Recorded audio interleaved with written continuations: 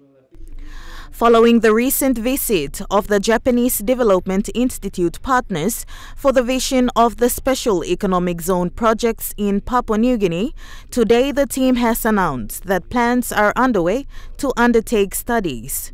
Minister Maru explained that apart from the plan set, systems will be looked into and training will be underway to assist the Special Economic Zone Master Plan to be conducted by the Japanese Development Institute.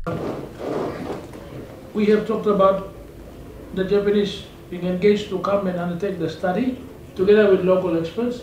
We are here to announce to the country that they are here and the work to formulate the Papua New Guinea Special Economic Zone Master Plan starts tomorrow.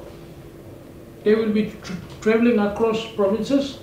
Starting tomorrow, they will be traveling to Rabaul, into East Sepik, Westipik, and will be going right, right around Manus, Western Highlands, Chimbu, Western Province, Kal Province.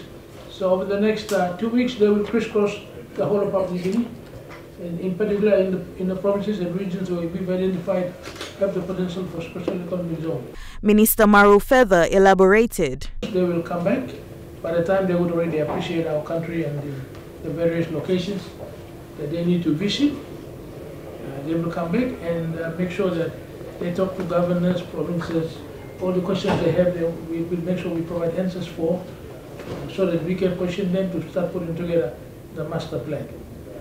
So we expect to visit most of the provinces and regions two, two times just to make sure we got everything covered. Japanese Development Institute Chairman Dr. Shoichi Kobayashi gave assurance that a thorough visibility study will be done on the selected special economic zones in the country. Uh, the government, uh, current government want quickly formulate, so we squeeze into the you know four five months.